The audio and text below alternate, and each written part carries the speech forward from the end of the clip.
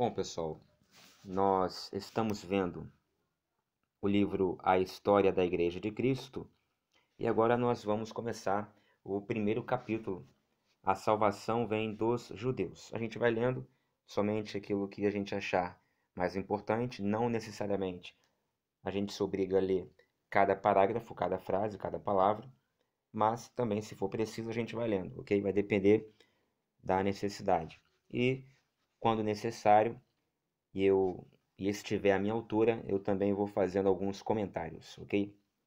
Então o livro começa assim: A salvação vem dos judeus, é o primeiro tomo, repito, da obra, da grande obra literária e historiográfica da igreja, uh, a história da igreja de Cristo, que tem 11 tomos.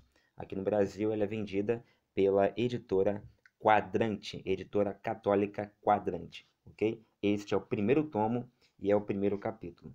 O primeiro subtítulo, ou seja, a primeira parte, se chama Os Irmãos, entre aspas, de Jerusalém.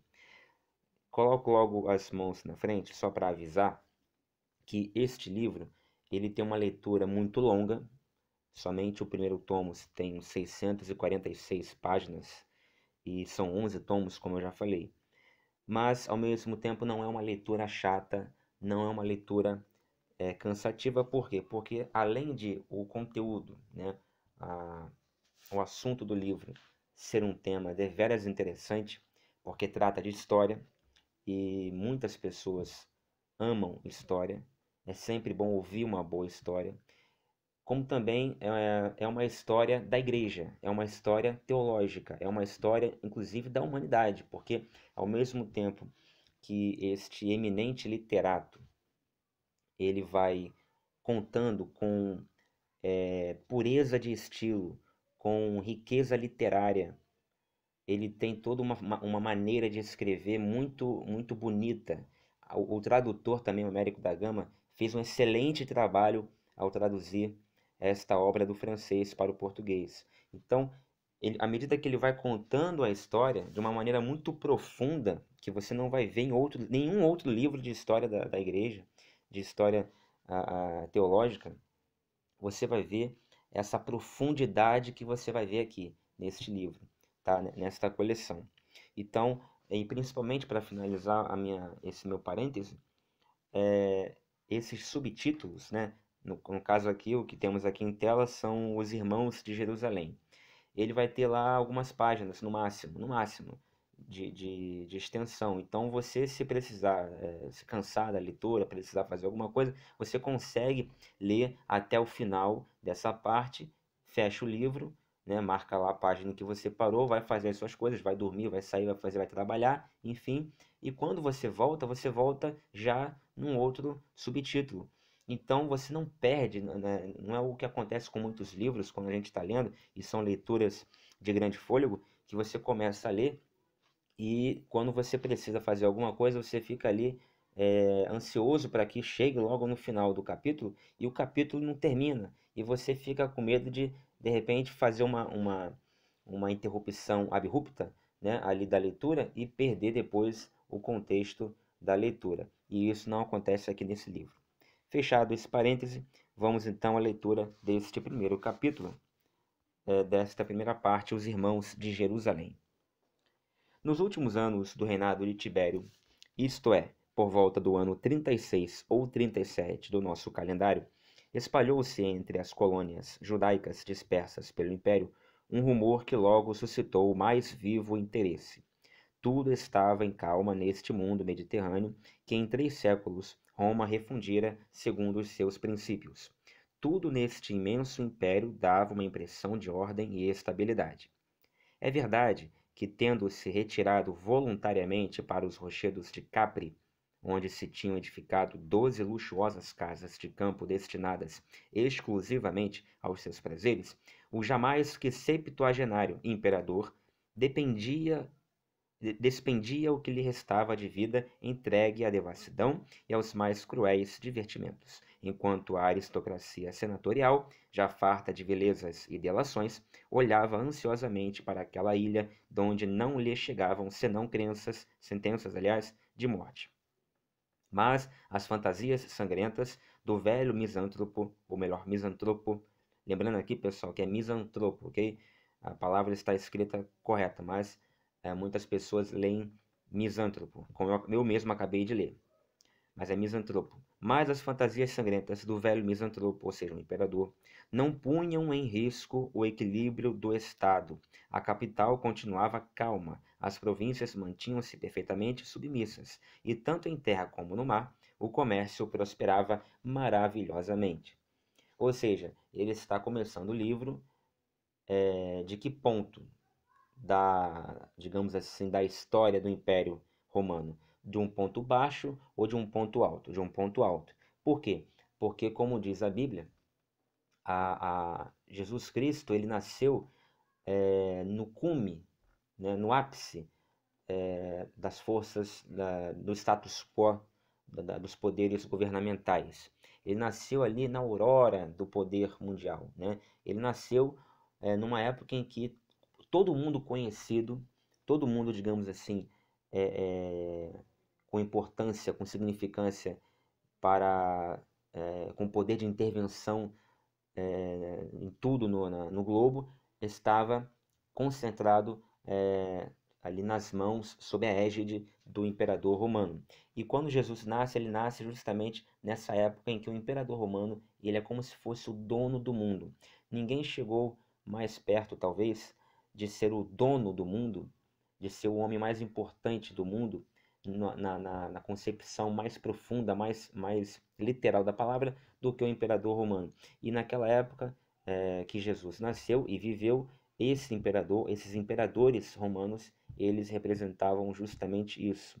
E como a Igreja de Cristo, que é o objeto da, dessa contação de história, desta, desta análise aqui, né? desta exposição, como essa igreja ela nasceu justamente nesta época, então o historiador que se preze, ele precisa contextualizar antes de começar a narrar, a contar os fatos. Ele então faz uma introdução sobre o contexto histórico. É justamente isto que o historiador Daniel Rups está fazendo aqui, já fazendo uma apresentação do mundo político é, é, que circundava a, o que vai em breve acontecer ali, que é o nascimento da igreja. Continuando a leitura. Também na Palestina, a menor das regiões do império, não parecia acontecer nada de excepcional. Reinava a ordem em Jerusalém sob a autoridade desconfiada e às vezes brutal do procurador Pôncio Pilatos.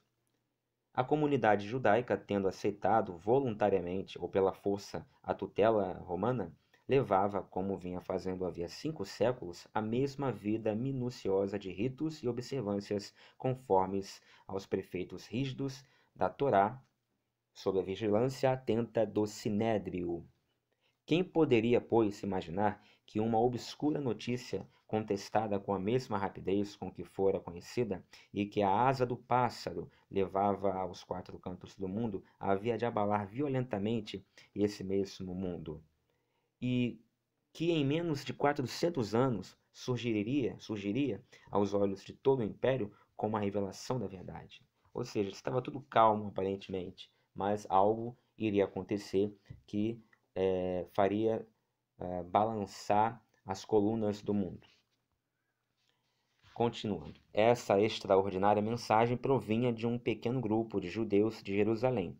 Quem os encontrasse nos átrios sagrados ou pelas tortuosas ruelas da Cidade Santa, nada notaria neles que os distinguisse dos demais fiéis. Dotados de uma fé viva e exemplar, eram vistos frequenta, frequentando assiduamente o templo, geralmente reunidos sob o pórtico de Salomão. Pórtico este é, que é citado em Atos 5, Atos 12 e 3, versículo 11 também. E também pode-se ver algo parecido também em João 10, 23.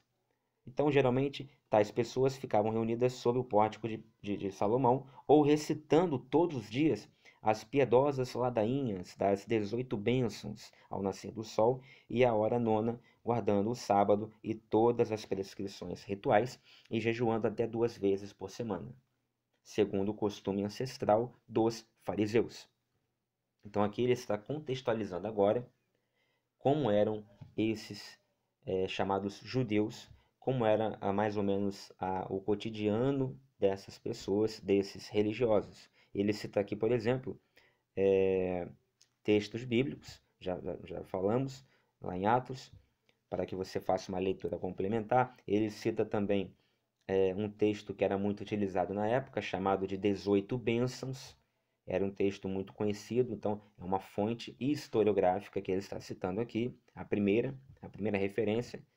É, e ele fala de ao nascer do sol e a hora nona, ou seja, ele dá toda ali, ele apresenta o primeiro costume, o primeiro hábito é, que ele apresenta aqui dos judeus. E ele fala também do sábado. Quando ele fala do sábado, ele coloca uma nota de rodapé, a nota número 1, que diz assim: Lê-se em São Mateus, capítulo 24, versículo 20. Abre aspas. Orai para que a vossa fuga não tenha lugar no inverno ou em dia de sábado. Fecha aspas. É uma prova clara de que, na época em que o Evangelho foi escrito, a comunidade cristã observava o rigoroso descanso sabático.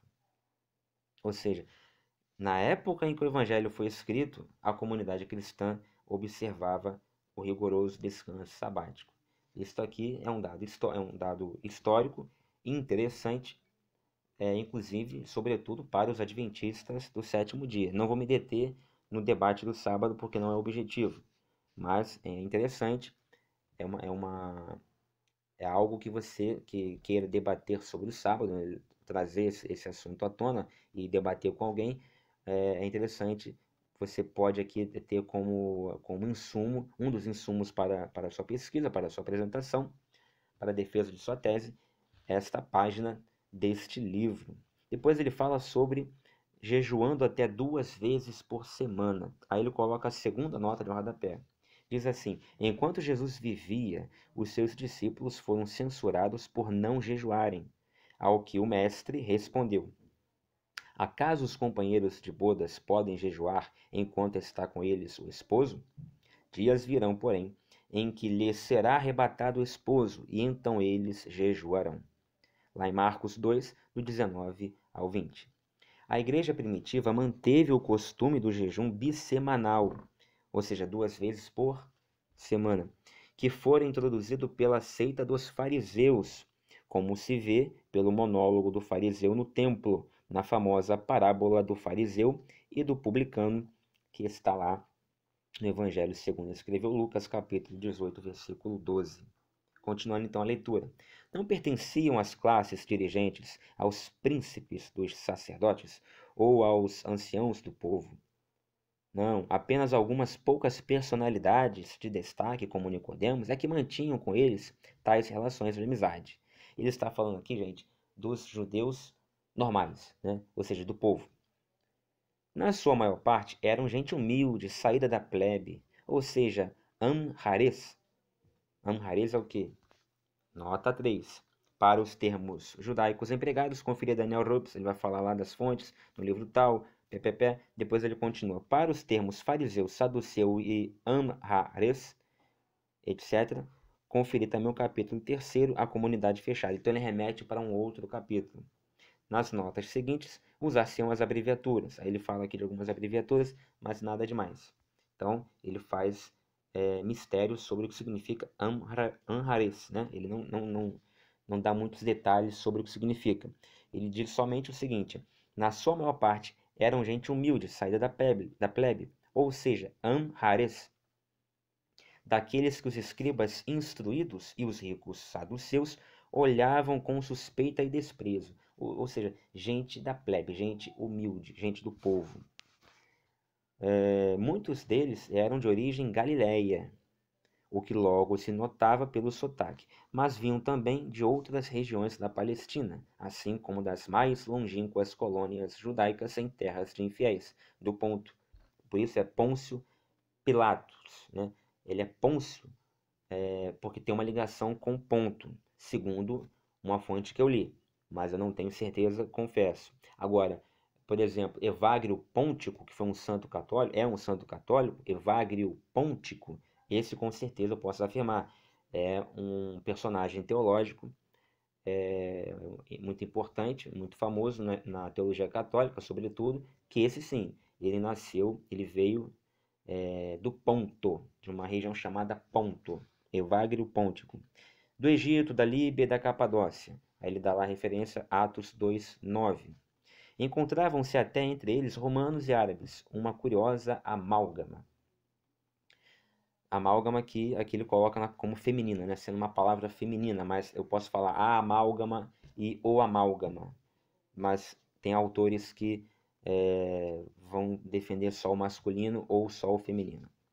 Era comum reunirem-se à parte para realizar certas cerimônias, que, embora ainda judaicas na aparência, tinham para eles um novo significado. Assim, por exemplo, as refeições tomadas em comum, no decorrer das quais os ritos antigos eram interpretados de forma estranha. Ao mesmo tempo, reinava entre eles uma grande harmonia, uma grande harmonia entre eles. Inicialmente haviam-se denominado discípulos. Veja bem, os discípulos tinham muita harmonia entre eles. Assim começou a Igreja de Cristo. Muito interessante. Denominado discípulos, porque tinham tido um mestre.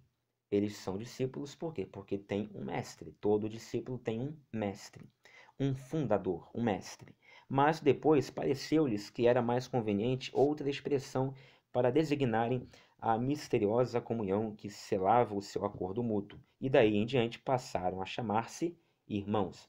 Então veja que, primeiro, os cristãos, veja bem, os cristãos que nós estamos falando aqui estão nascendo. Essa, essa denominação cristã não surgiu primeiro, né?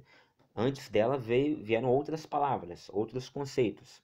Então, o que o, o Daniel Ropes está mostrando aqui é o seguinte: que no início eram judeus novos, ou seja, judeus conversos, com todos os hábitos, como nós vimos ali do sábado, né, duas vezes por semana, o jejum.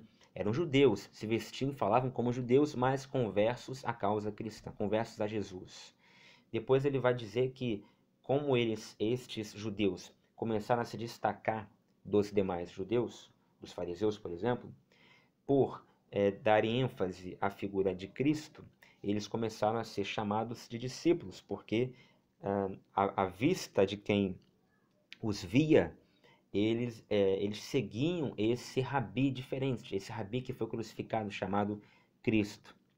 Então começaram no início a, ser, a serem chamados de discípulos. Então, discípulos, pessoal, é o primeiro nome que deram aos cristãos, discípulos. Então, ser cristão é, acima de tudo, ser discípulo de Jesus. Ou seja, é seguir o que o, que o seu mestre é, ensina. É ter esse mestre, primeiramente, como sendo seu guia, como sendo seu, acima de tudo, seu Deus, o seu, o seu grande orientador, e ser discípulos. No grego, é, essa palavra discípulo tem como raiz um radical que significa olhar, é olho, visão, então, o discípulo é aquele que olha para onde o mestre manda olhar. Ou seja, ele, ele, se, ele se volta para onde o seu mestre manda, orienta que ele, para, onde ele se volte. Tá? Então, isso é ser discípulo. Isso é ser cristão. Depois, com o tempo, o texto diz que passaram a se chamar irmãos. Irmãos. Ou seja, eles eram discípulos porque tinham um mestre e seguiam tudo o que aquele mestre ensinava. E eram muito unidos. O texto diz aqui que viviam em harmonia. Então era, tão, era tamanha essa harmonia que eles passaram a se chamar irmãos. Irmão no sentido profundo da palavra mesmo, ou seja, eles tinham tudo em comum e se amavam. Muito forte isso aqui. Mas não formavam uma seita como tantas outras que se conheciam em Israel. Na, eh, não exibiam a austeridade exterior dos fariseus que se mostravam constantemente com os filactérios na fronte, vestidos de luto e com um andar conscienci conscienciosamente grave. Nem passavam tempo discutindo sobre os mil e um preceitos que regulamentavam o descanso do sábado. Também não fugiam do mundo, como esses agrupamentos de essênios que nas solidões do Mar Morto tinham instalado forma verdadeiras formações conventuais, multiplicavam os jejuns, renunciavam às mulheres e, vestidos de linho branco, se tornavam vegetarianos. Ou seja, eles não eram solenes e, e soberbos como os fariseus, eram humildes, né? e também não eram é, reclusos, ou seja, é, misantropos, para usar uma palavra que nós já explicamos o significado, ou seja, aversos, alheios né, ao ser humano, ao homem. É, antropos, em grego significa homem, misantropo significa aquele que tem aversão ao homem, à humanidade.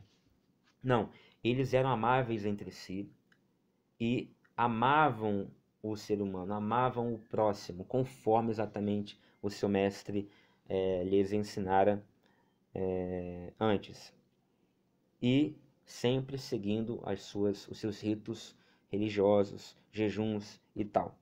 Renunciavam às mulheres, ou seja, não eram dados a, a, a enfim, a luxúria e tal, sempre vestidos, tinham uma roupa de linho branco, ou seja, uma roupa que os identificava, né, à distância, e se tornavam vegetarianos. Não é isso? Ou seja, os essênios eram assim. Né? Agora, os cristãos não faziam isso. Por quê? Porque eles acreditavam que não, era, eh, não era necessário. Primeiro, que Jesus não os mandou fazer isso. Segundo, que, é, diferentemente dos essênios, que foram os primeiros monges, né? Eram, foram eles os primeiros é, fundadores de conventos, os essênios, eles é, achavam que tinham que se isolar do mundo, que tinham que ter uma roupa diferente, um hábito alimentar diferente, eram vegetarianos, enfim. Os cristãos os então chamados, ainda chamados irmãos, eles é, não acreditavam que era necessário fazer isso, não criam nessa necessidade, então simplesmente eles se vestiam conforme todo mundo. É, na época, é, tinham os mesmos comportamentos da maioria das pessoas, exceto que, é, claro, pecavam menos, eram mais conscienciosos, eram mais retos no seu comportamento, na sua moral, eram discípulos né, de Jesus. Por outro lado, não tinham constituído qualquer sinagoga independente, ou seja, os cristãos ainda não tinham feito nenhuma sinagoga, nenhuma igreja, nenhuma, nenhuma, nenhuma, nenhuma denominação, nada. Né? É, nenhuma sinagoga independente, ou Knesset, como a lei autorizava. A lei autorizava que eles fizessem tais sinagogas, mas eles não fizeram.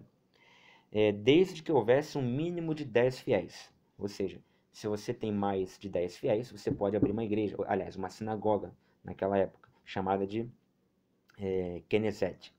Assim o tinham feito muitos núcleos judaicos iguais a eles, ou parecidos com eles, é, vindos das colônias longínquas, os quais, à exceção das cerimônias coletivas do templo, gostavam de orar a Deus junto com os seus compatriotas. Não eram gente que se procurasse, é, que procurasse isolar-se ou recluir-se. Ou seja, os cristãos não se isolavam. Né? Pelo contrário, mostravam-se acessíveis a todos. Isso é importantíssimo. Né? Nós cristãos, eu falo isso até para mim mesmo, nós temos que ser acessíveis. É difícil, é complicado, muitas vezes a vontade que dá é de se realmente se retirar do mundo dessa, desse, desse lamaçal, desse lodaçal que é o mundo. Mas o cristão ele tem que ser o sal da terra, ele tem que ser acessível às pessoas. Ele não pode se retirar como faz um monge caputino, por exemplo. Pelo contrário, mostravam-se acessíveis a todos, e os seus líderes convidavam incessantemente as almas piedosas a unir-se ao seu pequeno grupo. Se se quisesse enquadrar esses homens numa das correntes religiosas estabelecidas, a única que, a largos traços, lhes conviria seria a dos pobres de Israel, os Anavim, que, escandalizados com o luxo da casta sacerdotal e demasiado iletrados para se alinharem ao lado dos fariseus, reagiam com humildade zelo, com humilde zelo contra tudo o que lhes parecia mal no povo eleito, e que não tinham outra regra de vida senão aquela cuja fórmula perfeita lhes fora dada pelo Salmo Feliz aquele que teme Javé e que segue as suas pisadas. Salmo 128, versículo 1. Então ele fala aqui dos Anavim, é, diz assim a nota 4. Chegou-se a pensar que existiria uma espécie de comunidade organizada que se teria chamado Pobres de Israel. E ele faz uma analogia é, no, é, no, que tange ao comportamento similar, né, semelhante a, aos, aos primeiros cristãos, chamados de irmãos. Mas esta tese de que existia tal sociedade chamada Pobres de Israel é, já não é mais aceita. E no movimento dos Anavim, reconhece-se antes uma atitude geral do judaísmo mais tradicional, ou seja, um movimento não organizado. é uma tendência, uma corrente de pensamento vinda das profundezas da consciência judaica, humilde e totalmente fiel, que se exprimiu em muitos salmos do Antigo Testamento, bem como em textos não canônicos, tais como os Salmos de Salomão e o Testamento dos Doze Patriarcas. Então, o que acontece, gente? É, sempre quando há uma guinada teológica dentro do movimento cristão mundial de mais de dois mil anos, uma instituição né, ou um grupo majoritário, dentro dele surge um grupo minoritário é, que é, é, é, diverge desse grupo maioritário em algum ponto cultural, teológico, e então ele, esse grupo minoritário sai e funda uma nova um, uma nova igreja, uma nova seita ou uma nova igreja, uma nova uma nova tendência. Né? Nós vemos isso acontecer sempre, sempre, sempre, sem exceção dentro da história da igreja. O que está acontecendo aqui é um dos primeiros movimentos de tensão que ocorreram dentro da, do judaísmo. É, o próprio, os próprios é, judeus mais tradicionais, isso aqui na igreja, é, pré-igreja cristã, tá? antes de Cristo, já estavam é, se levantando, é, se inconformando com muitas coisas dentro do judaísmo. E eles mesmos já estavam se é, colocando à parte, se dividindo entre eles, entre vários, várias tendências, várias seitas. E o texto aqui mostra que naquela época já havia muitas seitas judaicas. Quando o cristianismo aparece, ele é, não é tido como cristianismo logo de cara. Ele é interpretado como mais uma dessas seitas. Seita significa divisão, tá ok? Então ele é interpretado como mais uma dessas seitas. E o que acontece? É...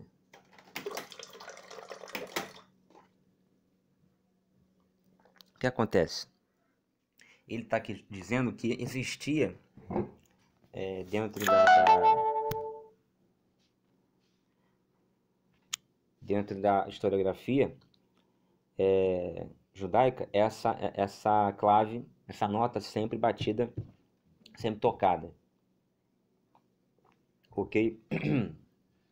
E eu estou dizendo que no cristianismo é a mesma coisa tá? Então o que houve com Lutero e a sua saída da igreja e a fundação de uma nova religião, o que houve, guardadas as proporções, com a cisão, o cisma, o grande cisma do Oriente, em 1054, é, com a formação da Igreja Ortodoxa grega, o que houve aqui agora, né, é, é com, no nosso mundo, é, com o surgimento de várias denominações é, pentecostais, protestantes, é, dentro do catolicismo, várias, vários movimentos, é, como por exemplo o movimento carismático, enfim, é, houve também de, de, forma similar, houve também naquela época, né? E é nesse contexto de é, cisões e é, rixas, né?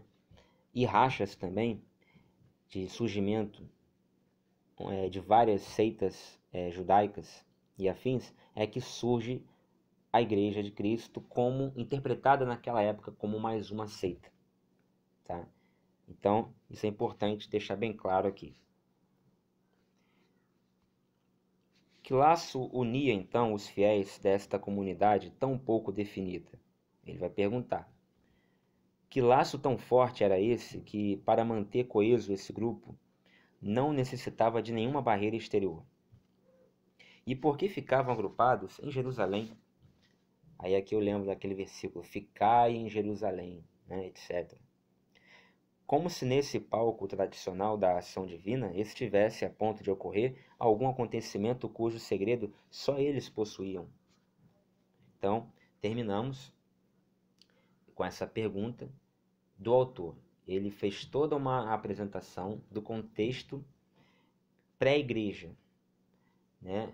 E ele, ele apresenta os primeiros cristãos, é, que eram chamados de discípulos de Jesus, depois de irmãos, porque tinham um comportamento de muito amor fraterno. Ele diz que esses primeiros discípulos de Jesus, esses irmãos, que seriam chamados depois de cristãos, eles viviam, não, eles não cultuavam em prédios, eles não, eles não cultuavam no iníciozinho em um templo, eles não tinham templo, eles se organizavam é, de maneira me, bem assim, é, digamos, é, não fixa, ou seja, nas casas de um e de outro, não tinha um, um local bastante específico de culto. Porque o, o, aí, aí, no final ele pergunta, então como assim essa seita conseguiu perseverar, durar mais do que um mês, um, um ano, e, e, com tão, tão poucas pessoas no começo, é, é, com todo mundo, com todos os poderes estabelecidos contra eles, é, sem dinheiro, sem nenhuma força política por detrás, sem nenhum templo, sem nenhum símbolo concreto, material. Enfim, como um povo tão humilde que se unia e sobrevivia apenas pela força do amor, da partilha, como esse povo conseguiu manter essa coesão e perseverar e seguir historicamente.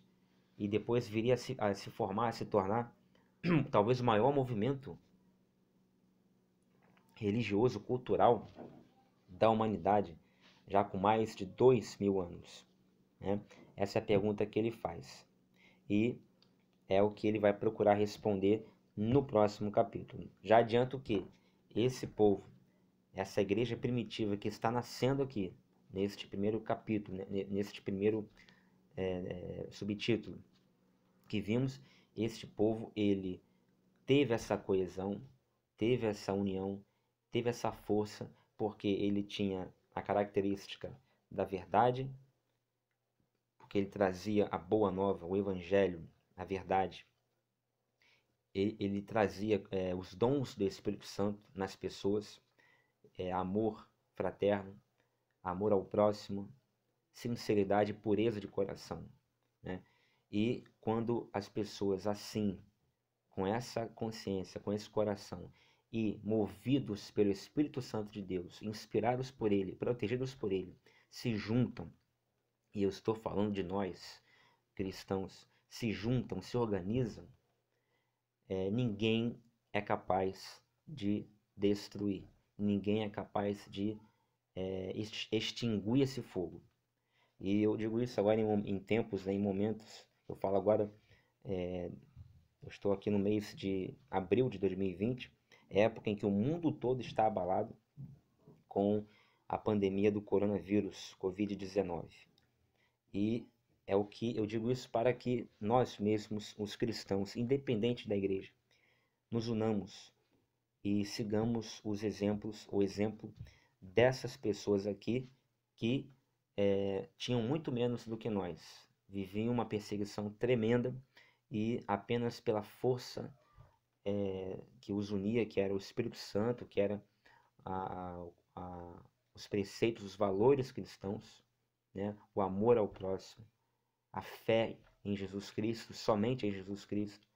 Se a gente nos unir nesse propósito, em vez de ficar só olhando para os males da doença, da pandemia, é, da economia que está sendo afetada por conta de, da reclusão das pessoas, se a gente passar a olhar também e focar na, na, na união, na nossa é, convergência de propósito, em oração, em amor não somente ao próximo, como à pátria.